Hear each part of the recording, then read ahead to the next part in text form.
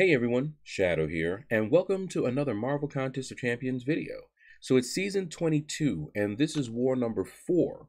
And we're going up against an alliance, I cannot say their name, uh, Menseo dos Vengadores?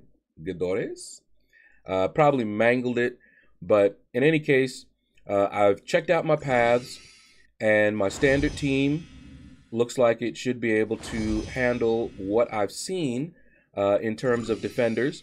Now, this first fight, Medusa used to be used as the final boss. She is still an annoying defender, and this is actually a pretty decent placement for her. Now, if you've watched some of my previous war videos, you know that I basically ignore this node. Sometimes that's not a good idea, but generally I ignore the node. And what you're going to see happen here is why she's a pretty decent, uh, pretty decent placement here. Uh, now, there's a question that I had when I was fighting this that I wasn't sure of. Okay, so as you all know, when she gets three Furies or more, she goes and gets that Living Strands and she will auto block. Okay, and we don't want that because um, he most likely has parry, and so I'll get stunned. So you'll notice that when she has these three Furies, uh, I'm not trying to hit her. Now, I got hit there because I was too busy looking up because part of the node, unless I reset it, when those counters go down to zero, you see them up there in the upper left-hand corner, um, she gains Furies. That's how the node works. I will have to land a special to reset it. But look at her Furies. Now, those are passive Furies, I believe. I don't know whether those count towards her living strands. So I was playing very nervous here, okay? And we managed to get her down, but it wasn't a pretty fight because not only was I not sure whether the passives counted towards the living strands, I, I don't think they do. But when I was doing this fight, I wasn't sure. And so I'm trying to fight her, you know, in a different way, you know. But what ended up happening when I got hit that first time is I got confused. You know, both of those Furies, her Furies and the passive Furies, they look very similar. And when you're in the middle of a fight and you're just trying to glance up really quick, it's hard sometimes to tell. So I glanced up, didn't see what I was looking to see, and looked up again, got distracted, got hit. Okay? Well, we got that fight down. Wasn't pretty, but Nick Fury was able to bring it home for us. Now, this fight here, Symbiote Supreme, uh, not Symbiote Supreme, I always do that. Sorcerer Supreme um, is a pretty easy fight. Now, Warlock, uh, you'll notice here, Warlock was getting a lot of suppressions. Um, Warlock is a control champion. So if they have Flow as the global, every time he does a heavy, not only does he do a pretty hefty bleed, it lasts a pretty good long time, but he also suppresses their power, combat power rate. All right. And against someone like Sorcerer Supreme, it's a wrap. You know, she's not going to get, you know, any kind of power. All right. So, uh, as you saw, um, the mini came open, and here I am with this uh, Omega Red, and there's a Korg. Omega Red, perfect for this. Uh, so I'm happy that they let me have that. Uh, what often happens is, of course, as you saw when I get there, the mini is not open yet. So even if I had wanted to boost and just keep going and hit the mini, I wouldn't have been able to. So I went as far as I could, used up my energy, uh, and then waited. And then they uh, cleared the mini. I can't remember if I got tagged or not, but when I did come back and check, uh, he was open. So we go in. Now, I kill Korgs all the time in Alliance Quest. Uh, they've removed him uh, if I remember correctly now, but I always used Havoc to take out Korg. But Omega Red is awesome. I remember having a discussion on one of my streams uh, as to whether Omega Red was better than Havoc at killing Korg. And honestly, they're both excellent options, but my contention, of course, was that out of the box, Havoc was better. Uh, meaning he doesn't need to be awakened, he doesn't need any kind of sig level to be excellent. Now, with Omega Red out of the box, he can still take down Korg. Uh, but if you ever watch me take down Korg with Havoc, it's basically get to a special three and then take him out. That's it. He kills Korg very quickly. Uh, and that's pretty much what I did with him. Uh, I'm looking forward to the next AQ season because I bring Havoc uh, to Alliance Quest all the time. Even though they removed that Korg, I still bring uh, Havoc. I think Korg might still be on uh, some of the variations, but who knows what's going to happen during uh, the next season. But mutants are getting a major boost for the entire season of AQ, so Havoc will probably stay on the team uh, regardless. All right, so we got Korg down. He's not very difficult if you know how to fight Korg. If you can evade his specials, learn how to evade that special one. Uh, I used to get wrecked by that special one all the time. That's why I hated Korg. But once you learn how to do that and you manage his rock uh, stacks, get his rock shield down, um, he's not too bad to fight anymore. Uh, depending on the node, Mixmaster Korg can still be annoying. All right, so I went ahead and used up all my energy and I was eyeing that Havoc because I got Warlock. Uh, but when I uh, checked back, um, they had already taken out that uh, uh that Havoc. Now I remember fighting a Havoc on that node, and I got wrecked, and I wasn't quite sure why. And uh, so I was a little wary, but I would have if I had the uh, energy there. And I forgot I had to go do something, and I was just short of that energy.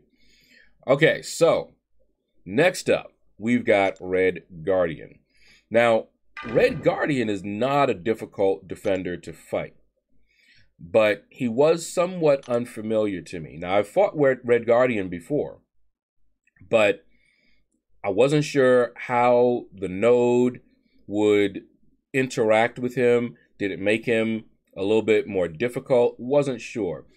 Uh, now, I've seen that they've placed and they made some really good placements, okay, with their defenders. So that made me a little wary. You know, I'm like, okay, normally Red Guardian is very easy to take down. However, don't know. So you see, I'm boosting up. Uh, I try to boost up, uh, unless I just forget. I try to boost up um, every time.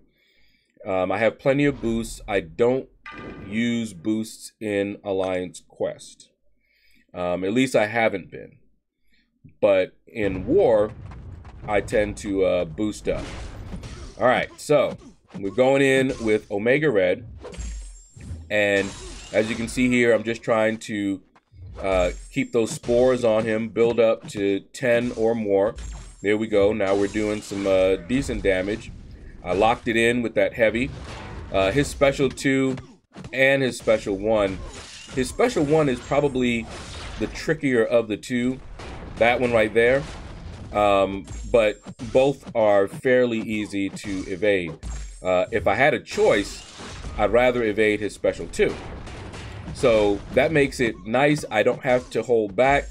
Um, I don't have to try to bait out special ones for fear that I'll push him to a special two. Nothing like that. And as you can see, he went down pretty easily. Uh, Omega Red is awesome. Now, this next fight, I wanted to make sure I was fully awake because Miles Morales can still catch you. All right, that evade that he gets, it can be very annoying, and he hits decently hard. All right, so you go in there and try to just go all out on Miles Morales, and you're probably going to get wrecked. All right, so now I want to boost up because I'm going to use Warlock, and I have a strategy, okay, with uh, fighting against that Miles Morales. So I want to boost up, and I also uh, was asked to uh, take that mini as well. So I'm like, okay, let's uh, put a tech boost on. Now you see I chose the tech boost, but it's not up there. Okay, just look at that right there. It just blinked off. So I went out, went back in, and it is tech. It did apply. I'm hoping that that's not a bug or anything like that. Um, that they are working because you remember back in the day, um, there was a bug with the boosts. Some of the boosts weren't working. All right, so we got our tech boost in, and here's my strategy: don't hit him while he's not stunned. And if you do, swing only once. Okay?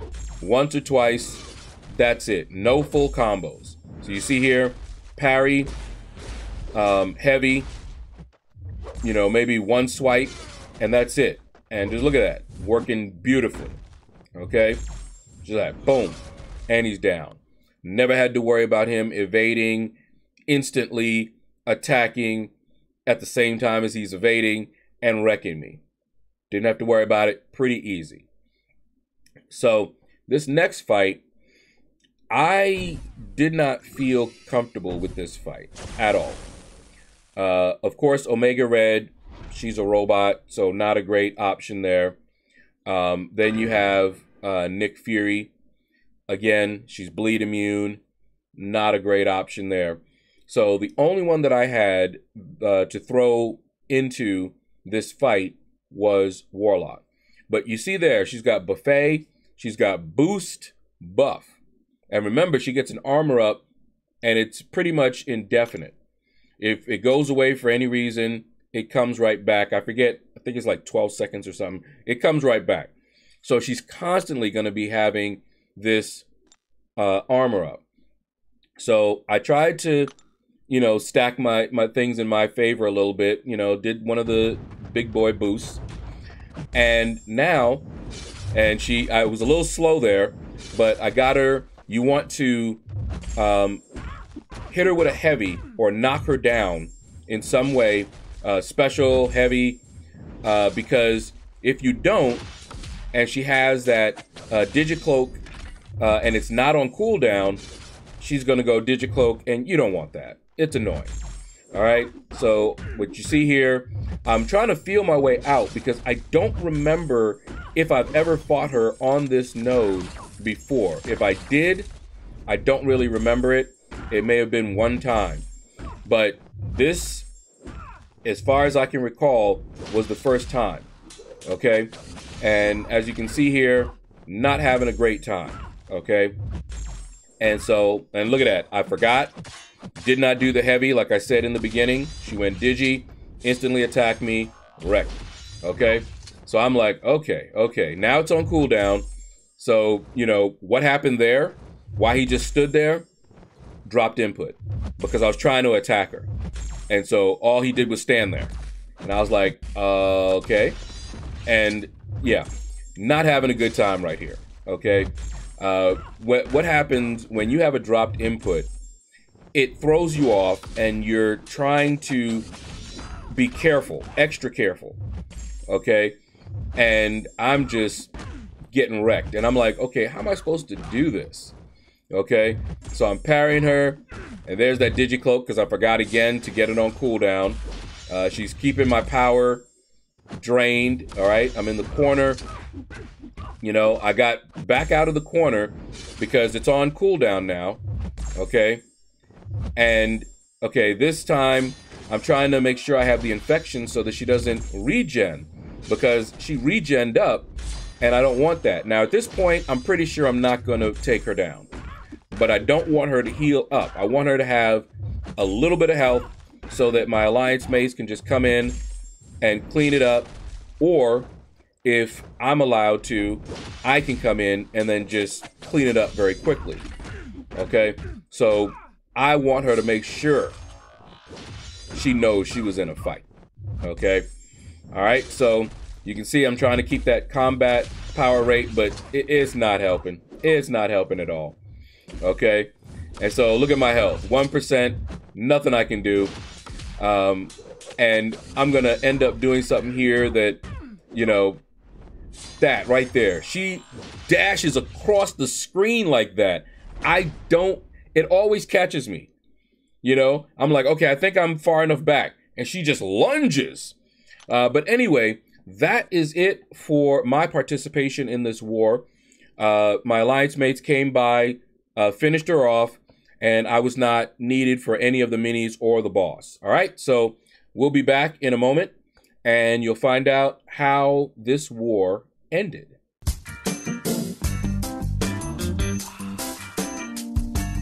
And we're back, and as you can see, we won this war. Uh, so that's going to do it, guys. Thank you all for watching the video. Click like, subscribe, leave a comment. Let me know what you thought about this video. And you all have a blessed day.